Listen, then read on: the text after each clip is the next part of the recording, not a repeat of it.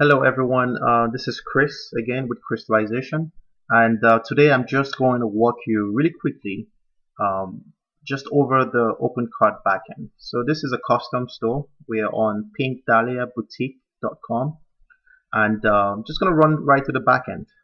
So this is what you see. It's a default page called the dashboard of what you see when you log into the back end of your store and uh, let's run through you know your dashboard pretty much shows you your sales stats you know how many customers total sales for the year um, what your average is um, you know in terms of sales per customer your last 10 orders things like that. Um, catalog. The catalog pretty much consider look at look at your catalog as um, as a book you know. This is where this is everything and anything to do with the actual products and categories you know manufacturers options for products. You know you have uh, the category section right there. You can add categories or subcategories or sub subcategories or sub sub subcategories. I mean the, the list goes on. You have your section for products. You can add products. You can edit products. You can even clone products if you have the same type of product. Attributes. You could add attributes for a specific product um, options for a specific product or products.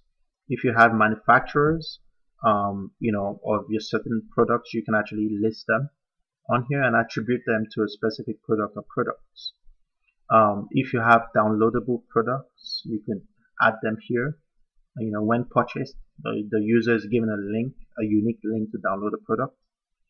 Uh, reviews, you know, if you have uh, under every product in OpenCart, you have a review section. If I go ahead and click on this, as you can see, you can write a review right there.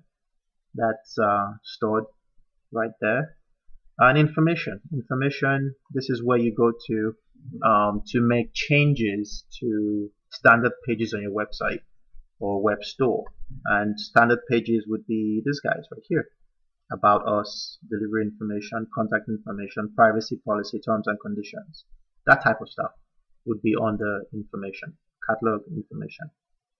So that's pretty much, you know, everything you need to know. Catalog is where you would most, most likely be for the most part if you're adding products, deleting products, maintaining categories, subcategories, um, adding attributes to a product, um, specials to a product, you know, coupons, you know, points, you name it. You would most likely be on the catalog.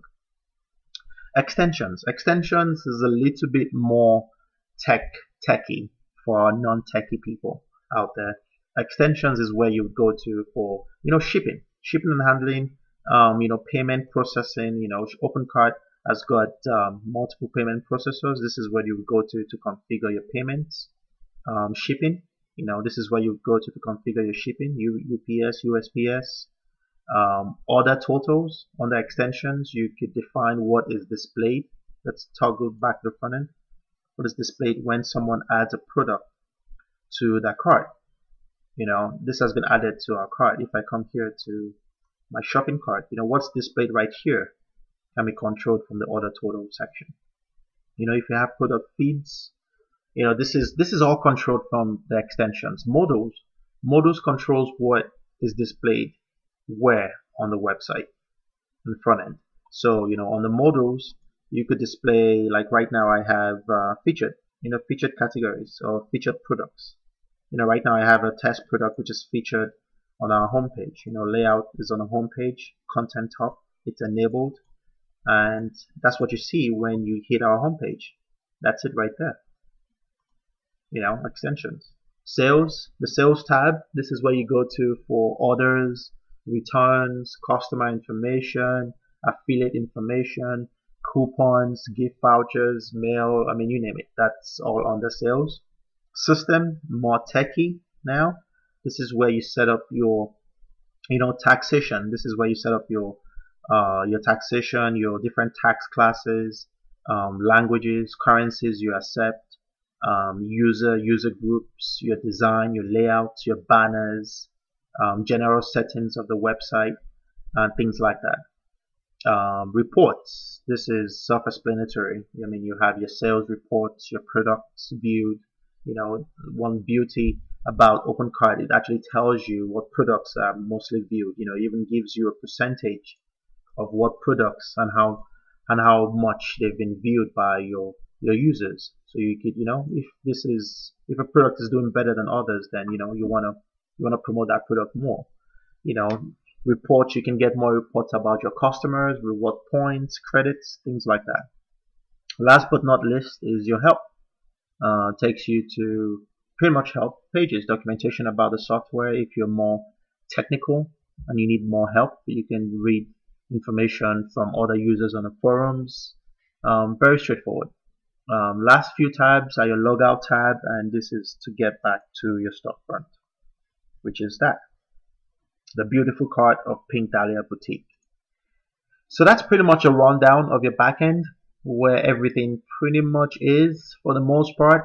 Uh, most, if you ever did forget where things are, um, you could just um, you know roll your mouse over things and and um, you know most of it is the UI user uh, design for OpenCart is very very good. So it literally helps you get through the backend very easily.